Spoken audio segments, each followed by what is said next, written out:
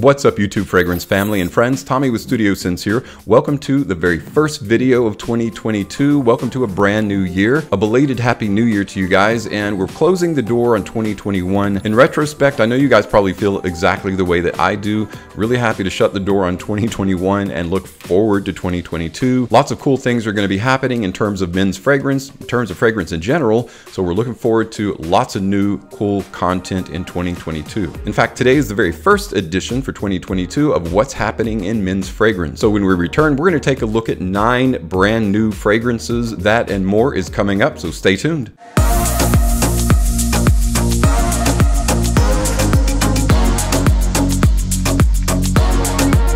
Welcome back everyone, and again, welcome to the first edition of What's Happening in Men's Fragrance 2022. We've got a lot going on, but I did want to take a quick second and let you guys know, for all of you out there that are just kind of casual observers of my channel, that just stop by when you can or when you think of it, and not necessarily on a regular basis, because just like everyone else, you're very busy, go ahead and stop for a second, look at YouTube, and make sure you are subscribed to my channel.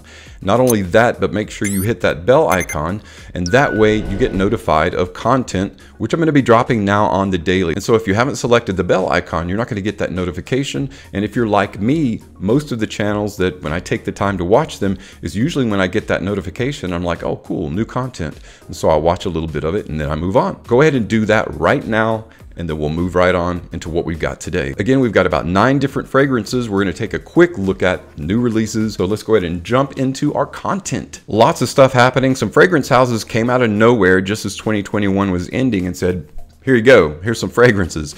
And then as 2022 began, some fragrance houses said, here you go, here's some fragrances. It's either super slow or there's a lot of stuff released at once. Almost like they all call each other on their bat phone and say, hey, are you going to release today or tomorrow? And then they do the same thing. They all follow suit. That's okay by me. I'd rather have more new stuff to choose from as opposed to not. The first set of fragrances we're going to talk about are new releases that are available now. You can actually go out to retail store locations and purchase them, or you can purchase them at Macy's or Sephora or Ulta online. The first fragrance we're going to talk about was released as 2021 was ending by Christian Dior. It is Dior Homme Sport 2021. Now this one kind of surprised me because there are four generations of fragrances. Do we need really that many sport fragrances? Christian Dior apparently thinks so. The OG Sport was released in 2008 and then it was reformed and released in 2012, then 2017, and here now 2021 or 2021 of yesterday. Let's talk about the formula. It's vibrant, explosive, and immediately recognizable. It is an eau de toilette concentration. We've got bergamot, Italian lemon, and aldehydes in the top. It's interesting choice of where to place aldehydes. Normally they're in the heart or the base of the fragrance, but here they're in the top. So it's going to be lightly dry and powdery, which is good for a sport fragrance. You've got lemony, elemi resins. You've got some citrus and pink pepper in the heart, and it's resting on a base of frankincense, amber, and woods. But this one actually captured my attention a little bit. I'm interested in getting this one. Be on the lookout for that first impression coming up soon for Christian Dior Homme Sport.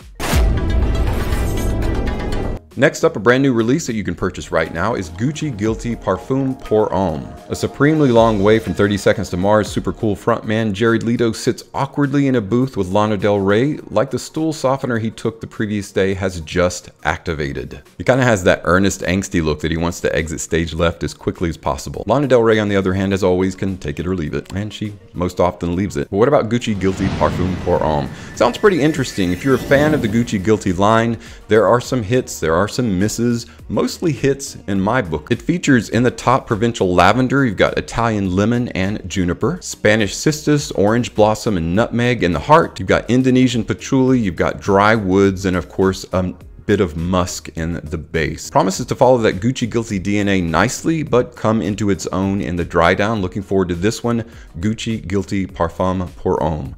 Look for an upcoming first impression video of this one coming up soon as well.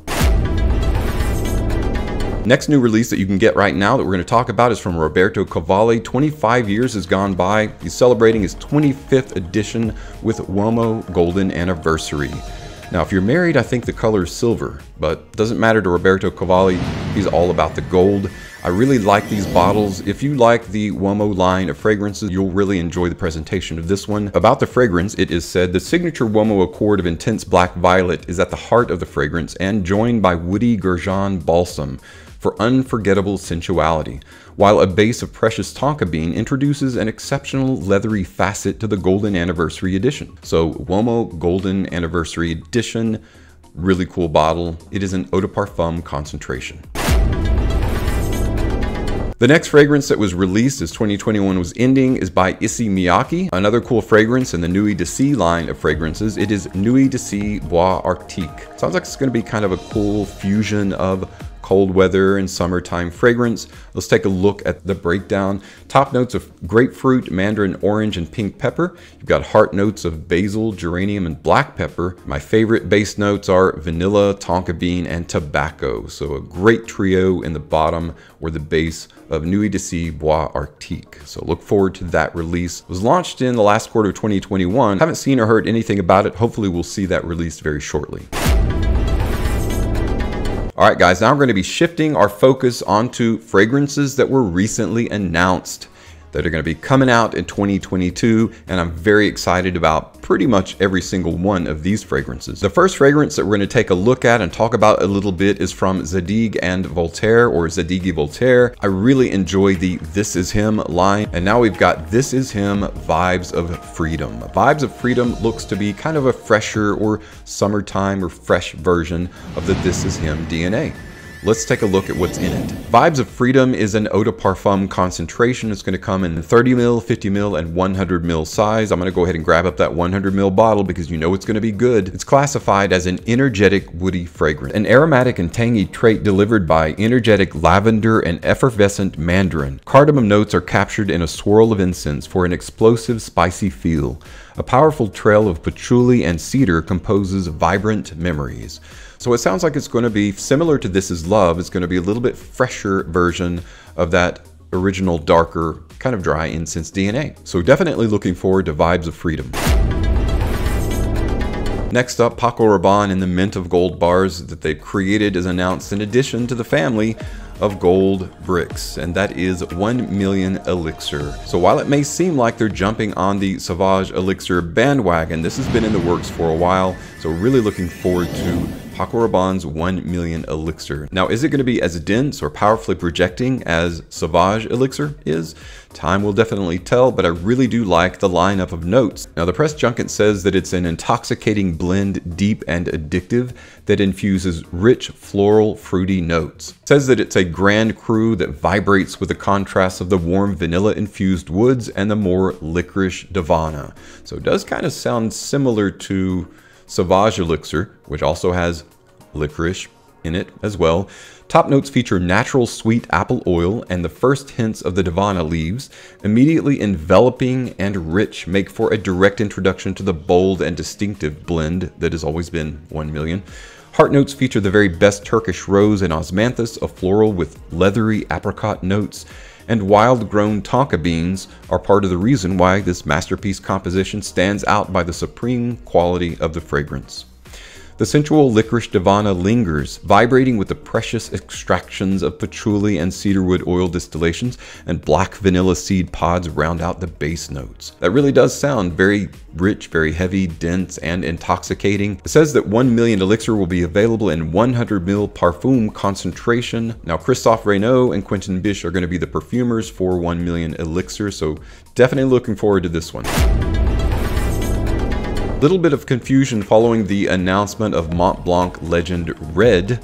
So looking forward to this one coming out as well. Mont Blanc Legend has historically been a really nice staple signature scent. And this promises to be a nice, though simple, release for the line. So while it was announced in 2021, it's not going to be a 2021 release. It's actually going to be 2022. Now Mont Blanc Legend Red is going to feature a top note of orange. It's going to have a heart note of clary sage. And in the base, it's just going to very simply rest on woody notes, right? Woodsy notes. So apparently for 2022, simple is the new complex. So looking forward to this release. It should be really nice. I like a good blood orange. Sounds like it's going to be a nice fresh citrus version of the light leather DNA.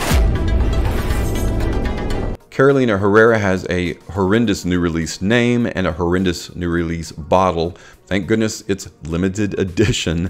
Now, I, for one, think all of the velvet bottles, and you know what I'm talking about. There's CH Men Kings, CH Men Beast, CH Men Under the Sea. Those are the absolute ugliest presentations, but the fragrances have been pretty nice. They've announced a brand new one, and it is CH Men Hot, Hot, Hot. Yes, with an exclamation point after each hot. Apparently, it's going to be pretty hot fragrance. Its focal point is on the desert and some floral notes that can appear in the desert. Hot Hot Hot features fragrance notes of Szechuan pepper, grapefruit, it's got rhubarb, angelica, violet leaf, vetiver, leather, and sandalwood. Now, if you're a fan of the perfumer Emile Bevierre-Coppermann, who created Givenchy Play, Givenchy Play Intense, 212 CH Men, 212 VIP, then you're going to really enjoy this fragrance CH Men Hot Hot Hot. This one is going to be released as part of a duo, one for women, one for men, and it will be available right before Valentine's Day. It is an eau de parfum concentration. I'm also excited about this next fragrance, which is by Givenchy from the Gentleman line of fragrances, which are all so very good.